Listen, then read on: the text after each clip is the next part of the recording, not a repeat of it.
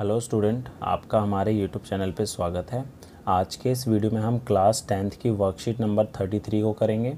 तो आज का जो टॉपिक है वो ये है कि त्रिकोणमितीय अनुपात देखेंगे कि 30 डिग्री पे 45 डिग्री पे और 60 डिग्री पे क्या होता है। Sine cos tan cosec sec और टेन का, ठीक है? तो सबसे पहले हम देखते हैं कि हमने पिछली वर्कशीट में क्या पढ़ा था। तो हमने देखा था कि जो साइन ए है, ठीक है, वो किसके बराबर होता है? वन अपॉन में कॉसेक ए के, वन अपॉन में कॉसेक ए के होता है और कॉस ए जो है वो किसके अब बराबर होता है? वन अपॉन में सेक ए के ठीक है? इसी तरीके से टेन का भी देखा था। वन अपॉन में कॉट ए कॉट का भी देखा था तो वन अपॉन में टेन ए होता है और सेक होता है वन अपॉन में किसके? कॉस के। और कॉसेक किसके होता है? वन अपॉन में साइन ए के ठीक है? तो ये एक दूसरे के व्युतक्रम होते हैं। ये हमें पता है। पिछली वीडियो में हमने देखा था। ठीक है? तो आगे देखते हैं। तो आज हम देखेंगे कि अगर हमें यहाँ पर एक राइट एंगल ट्राइंगल दे रखा है, समकोण त्रिभुज दे रखा है, इसमें ये बोला है कि जो ए बी है वो वन ए है बी सी जो है वो भी वन ए है और ए सी जो है वो रूट टू ए है, ठीक है? तो अगर मैं यहाँ पर साइन पैंतालीस की कॉस पैंतालीस की और टेन पैंतालीस की वैल्यू निकालूं, सभी त्रिकोणमितीय अनुपात की पैंतालीस डिग्री पे मान निकालूं तो हमारे पास क्या आएगा? ठीक है तो आज हमें जो करना है, सिर्फ़ हमें इनका मान याद रखना है।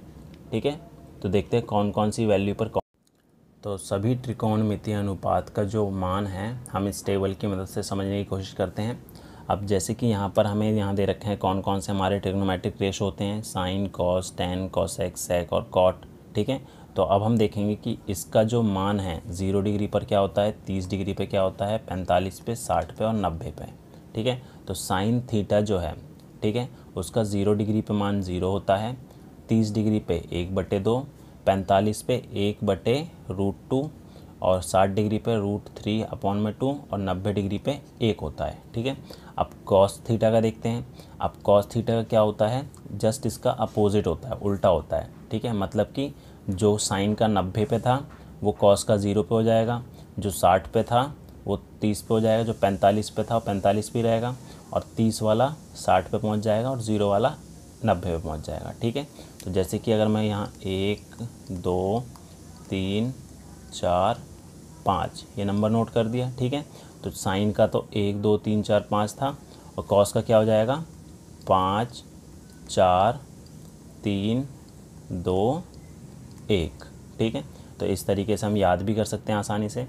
अब टेन का मान देखते हैं अब टेन का जो होता है, वो क्या होता है? अभी हमने एक फॉर्मूला देखा था कि जो टेन है टेन थीटा जो है, वो किसके बराबर होता है? साइन थीटा बटे में कॉस थीटा के, ठीक है? तो अब मैं टेन की वैल्यू अगर निकालूँ तो क्या करूँगा? साइन का जो ज़ीरो डिग्री का मान है कॉस के ज़ीरो डिग्री के मान से भाग कर दूँगा तो ज़ीरो बटे में एक हमारा ज़ीरो ही होता है। और एक बटे दो को अगर मैं इससे करूँ भाग रूट तीन बटे दो से तो दो से दो कट जाएगा तो क्या बचेगा? एक बटे रूट तीन। ये तीस साइन टेन तीस डिग्री का मान आ जाएगा। इसी तरीके से टेन फोर्टी फाइव का कैसे निकलेगा? दोनों को भाग करूँगा तो पूरा कट के एक बचेगा। टेन सिक्सटी के लिए दो से दो कट गया तो रूट तीन बटे में एक तो रूट तीन हो गया। और नब्बे पे क्या होता है? एक बटे ज़ीरो। तो अगर ज़ीरो से भाग करते हैं तो क्या हो जाएगा? इन्फिनिटी आ जाएगा, ठीक है? अब इसी तरीके से कॉसेक का मान देखते हैं कैसे करना है। याद? तो कॉसेक हमारा जो होता है, किसका व्युतक्रम होता है? साइन का। ठीक है? कॉसेक किसके बराबर होता है? एक बटे साइन के, ठीक है? तो साइन का मान क्या है हमारे पास? ये है ज़ीरो एक बटे दो, एक बटे रूट दो रूट तीन बटे दो और एक। तो जस्ट इसका उल्टा कर देंगे, ठीक है? तो ज़ीरो था तो क्या करेंगे? यहाँ पे ज़ीरो था ज़ीरो बटे एक है तो ये एक बटे ज़ीरो हो गया मतलब कि इन्फिनिटी हो गया। अब यहाँ पर एक बटे दो था तो ये कितना हो जाएगा? दो बटे एक हो गया। ये एक बटे रूट दो था तो रूट दो बटे एक हो गया और ये दो बटे रूट तीन हो गया। तो इस तरीके से हम सेक का भी याद कर सकते हैं और कॉट का भी याद कर सकते हैं, ठीक है? तो अब इस टेबल के आधार पर कुछ क्वेश्चन देखते हैं। तो सबसे पहले देखते हैं, उदाहरण नंबर पहला हमें क्या दिया गया है? तो इसमें ये बोला है टेबल में दिए गए त्रिकोणमितीय अनुपातों के मान देखकर निम्न कथन के लिए सत्य या असत्य लिखिए, ठीक है? तो अभी हमने जो टेबल करी है, उसके हिसाब से हमें बताना है कि साइन नब्बे और कॉस सिक्सटी दोनों का मान बराबर होता है कि नहीं होता? तो अभी हमने देखा है कि जो साइन नब्बे डिग्री है, उसका मान क्या होता है? एक होता है, आप देख सकते हैं टेबल में। और कॉस साठ डिग्री का मान क्या होता है? एक बटे दो होता है। तो एक और एक बटे दो तो बराबर हो ही नहीं सकते। तो हम कह सकते हैं कि साइन नब्बे बराबर नहीं होता कॉस सिक्सटी के। तो अतः ये कथन क्या है? असत्य है। ठीक है? तो अब अगला उदाहरण देखते हैं। उदाहरण नंबर दूसरा। अब दूसरे उदाहरण में हमें ये बोला है कि x का मान ज्ञात करना है, ठीक है? तो यहाँ पर एक हमें राइट एंगल ट्राइंगल दे रखा है, ठीक है? तो कोण हमारा जो है वो कितने डिग्री का है? तीस डिग्री का दिया हुआ है यहाँ पर, ठीक है? और ये वाली जो भुजा है, जिसे कर्ण बोलते हैं, वो दे रखा है हमें दस। हमें एक्स निकालना है तो एक्स हमारा क्या है? अगर हमारा ये कोण है तो इसके सामने वाला ये लंब हो जाएगा, ठीक है? ये लंब हो गया और कर्ण हमें दिया हुआ है। तो हमें लंब का मान ज्ञात करना है। तो जो भी हमने त्रिकोणमितीय अनुपात पढ़े हैं, उसमें लंब और कर्ण किसका अनुपात होता है? ठीक है, साइन का होता है। तो साइन तीस डिग्री पर, ठीक है, बराबर हो गया एक्स बटे दस। क्यों? क्योंकि ये होता है लंब बटे में कर्ण यही होता है साइन का अनुपात, ठीक है। अभी हमने जो टेबल की है, उसमें साइन तीस डिग्री का मान क्या होता है? तीस डिग्री का मान जो होता है वो एक बटे दो होता है, ठीक है? और एक्स बटे दस हमारे इसके बराबर में तो अगर इसको मैं सॉल्व करूँ, एक बटे दो बराबर एक्स बटे दस तो सॉल्व करके हमारे पास एक्स का मान क्या आ रहा है? पाँच आ रहा है, ठीक है? तो इस तरीके से हम इस एक्स का मान निकाल सकते हैं। तो अब देखते हैं अगला उदाहरण। उदाहरण नंबर तीसरा। तो अब उदाहरण नंबर तीसरा देखते हैं। उदाहरण नंबर थर्ड में हमें क्या बोला है? इसे सॉल्व करना है, ठीक है? तो इन सब का हमें मान टेबल में याद होना चाहिए पहले। सबसे पहले कि तीस डिग्री पे क्या होता है? पैंतालीस पे साठ पे क्या होता है? साइन कॉस टेन का। ठीक है? अगर आपको ये टेबल याद है तो इस तरीके के क्वेश्चन आप आसानी से कर सकते हैं। तो पहले फ़र्स्ट वाला देखते हैं। फ़र्स्ट वाले में बोला है साइन तीस डिग्री और यहाँ जहाँ दोनों साथ में लिखे हैं, बीच में डॉट है या कुछ भी नहीं है तो उसका मतलब गुना होता है। ठीक है? तो साइन तीस डिग्री गुना tan forty five degree plus tan thirty degree into sine sixty degree. ठीक है? इसका मान निकालना है। तो सबसे पहले हम मैं यहाँ लिख लेता हूँ साइन तीस degree tan forty five degree plus tan thirty into sine sixty तो इन सब की वैल्यू हम टेबल से देख कर लिख लेते हैं। साइन तीस की वैल्यू कितनी होती है? एक बट्टे दो तो ये आ गया एक बट्टे दो गुना टेन पैंतालीस की वैल्यू हमारी एक होती है, ठीक है? टेन पैंतालीस की वैल्यू एक होती है प्लस टेन तीस की वैल्यू कितनी होती है? टेन तीस की वैल्यू होती है, एक बटे रूट तीन, एक बटे रूट तीन गुना साइन सिक्सटी की वैल्यू होती है, रूट तीन बटे दो, ठीक है? रूट तीन बटे दो होती है। तो अब इसको सॉल्व करते हैं। रूट तीन से रूट तीन कट गया, ठीक है? ये आएगा एक बट्टे दो और ये भी एक बट्टे दो तो दोनों को सॉल्व करा। तो एल्शियम लूँगा तो दो आएगा तो दो बट्टे दो सॉल्व करके कितना आ गया? एक। तो इस पूरे का जो मान है वो कितना आ रहा है? एक आ रहा है। अब बी वाला पार्ट भी बिल्कुल सेम ऐसे ही करना है। बी वाले में हमें क्या दे रखा है? कॉस तीस डिग्री साइन पैंतालीस प्लस साइन तीस डिग्री और टेन तीस डिग्री। ठीक है? तो अब हमारे पास कॉस क्या दे रखा है? कॉस साठ जो होता है हमारा, वो होता है एक बटे दो। तो एक बटे दो गुना एक बटे रूट दो जमा साइन तीस होता है हमारा, एक बटे दो गुना साइन टेन तीस कितना होता है? एक बटे में रूट तीन, ठीक है? तो इसको अगर मैं सॉल्व करके लिखूँ तो ये कितना हो जाएगा? एक बटे दो रूट दो हो जाएगा प्लस ये हो जाएगा एक बटे में दो रूट तीन हो जाएगा, ठीक है? तो अब इसको मैं किस तरीके से और लिख सकता हूँ? इसको अगर मैं लिखना चाहूँ तो अगर मैं एल्शियम लूँ तो एल्शियम कितना आएगा इसका? एलसीएम आएगा हमारा टू रूट सिक्स आएगा, ठीक है? तो ये गुना हो जाएगा रूट तीन से और ये हो जाएगा रूट दो से, ठीक है? तो इसको हम इतना, ये भी सॉल्व करके लिख सकते हैं, या फिर आप इसको इतना भी छोड़ सकते हो। तो इस तरीके से हम इस क्वेश्चन को करेंगे। तो अब इस टेबल के आधार पर कुछ क्वेश्चन करते हैं, जो कि हमें नीचे दिए गए हैं। तो ये स्टार्ट करते हैं। तो फ़र्स्ट क्वेश्चन देखते हैं। फ़र्स्ट क्वेश्चन में हमें बोला है, निम्न कथनों के लिए सत्य या असत्य लिखिए। ठीक है? हमें इसमें क्या पूछा गया है? ट्रू फॉल्स पूछा गया है, ठीक है? ट्रू या फॉल्स पूछा गया है, कौन सा जो स्टेटमेंट है, वो सही है और कौन सा गलत है, ठीक है? तो इसको कैसे करेंगे? उसके लिए सबसे पहले आपको ये टेबल याद होनी चाहिए, ठीक है? तो फ़र्स्ट वाले में हमें क्या दिया हुआ है? फ़र्स्ट वाले में दिया हुआ है साइन सिक्सटी डिग्री इक्वल है कॉस सिक्स थर्टी डिग्री के, ये पूछा हुआ है, ठीक है? तो साइन तीस साठ डिग्री की वैल्यू देखते हैं कि इस टेबल में क्या दे रखी है?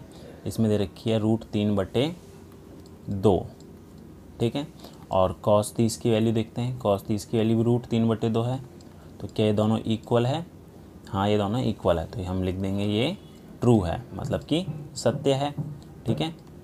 सत्य है। अगला बी पार्ट देखते हैं। बी पार्ट में क्या बोला हुआ है?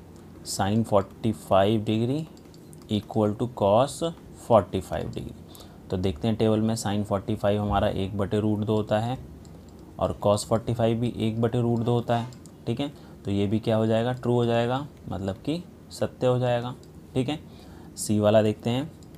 सी वाला हमारे पास है tan sixty equal to cot sixty तो टेन सिक्सटी हमारा होता है रूट तीन, ठीक है? रूट तीन और कॉट सिक्सटी जो होता है हमारा, वो होता है एक बटे रूट तीन. तो एक बटे रूट तीन, क्या दोनों इक्वल है? ये दोनों इक्वल नहीं है। तो ये फॉल्स हो जाएगा मतलब कि असत्य है। ठीक है? अब एक और देखते हैं डी पार्ट इसका। तो डी पार्ट में बोला है कोसेक तीस डिग्री बराबर है कॉट तीस डिग्री के। तो कोसेक तीस डिग्री देखते हैं कितना है? कोसेक तीस है हमारा दो और कॉट तीस डिग्री कितना दे रखा है? वो दे रखा है रूट तीन। तो ये दोनों, क्या ये दोनों इक्वल हैं? ये दोनों इक्वल नहीं हैं। तो ये भी हमारा फॉल्स हो जाएगा, असत्य ठीक है? तो इस तरीके से फ़र्स्ट वाला क्वेश्चन हम सॉल्व करेंगे। नेक्स्ट क्वेश्चन देखते हैं। क्वेश्चन नंबर सेकंड अब क्वेश्चन नंबर सेकंड में हमें क्या बोला है? समकोण त्रिभुज ए बी सी जिसका कोण बी समकोण है। ए बी पाँच सेंटीमीटर है और एंगल ए सी बी जो है वो तीस डिग्री है। भुजाओं बी सी और ए सी की लंबाई ज्ञात कीजिए। तो in a right angle triangle at B A B is five centimetre and angle A C B is thirty degree determine the length of the side B C and A C ठीक है? तो हमें बोला है कि एक right angle triangle है। यहाँ मैंने एक राइट एंगल ट्राइंगल ड्रॉ कर लिया है। ये एक राइट एंगल ट्राइंगल दिया हुआ है। बी पे नाइन्टी डिग्री है। ठीक है? तो ये हो गया हमारा ए बी और सी ठीक है? और ये बोला है कि एंगल ए सी बी जो है वो कितना है? तीस डिग्री दे रखा है।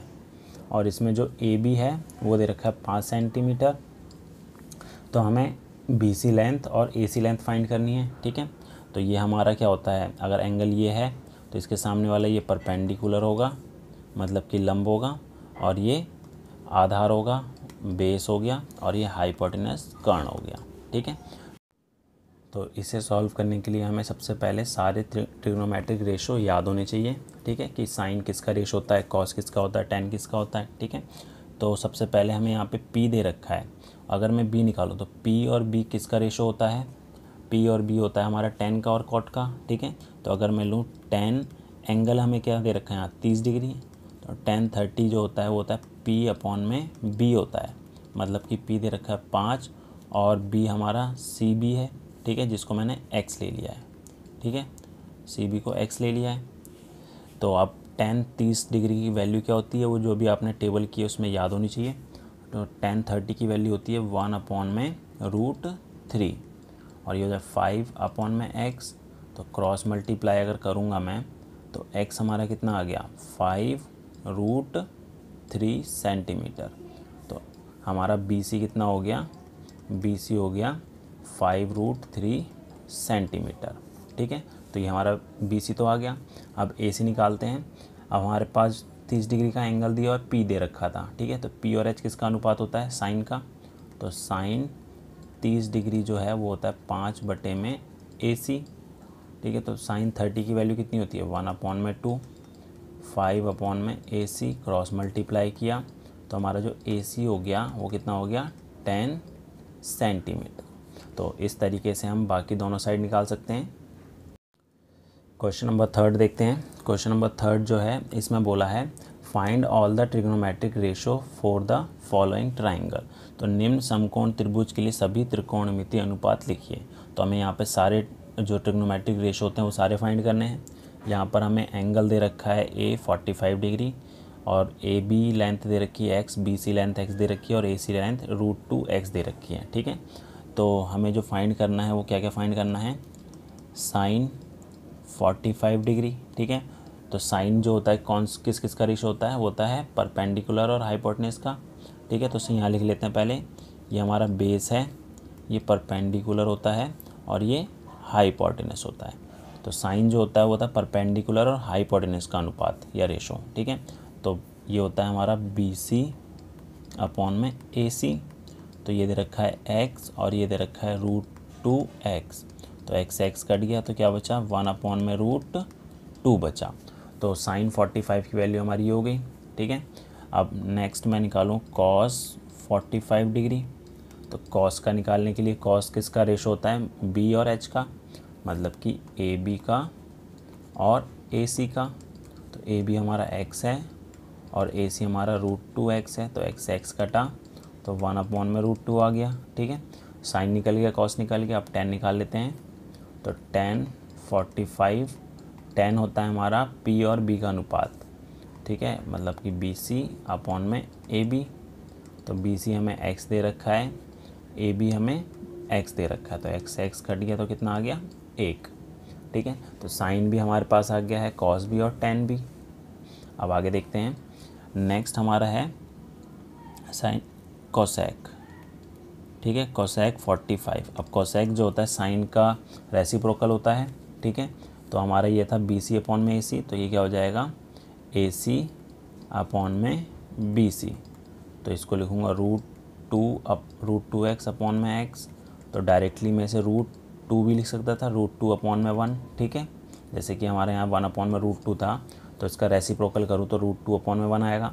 तो इसी तरीके से मैं बाकी निकाल लेता हूँ सेक फोर्टी फाइव तो इसका डायरेक्टली अगर निकालूँ तो यहाँ था वन अपॉन में रूट टू तो इसका भी हो जाएगा रूट टू अपॉन में वन और टेन का कॉट निकाल लेते हैं कॉट फोर्टी फाइव टेन हमारा वन है तो कॉट का भी क्या हो जाएगा? वन ही हो जाएगा, ठीक है?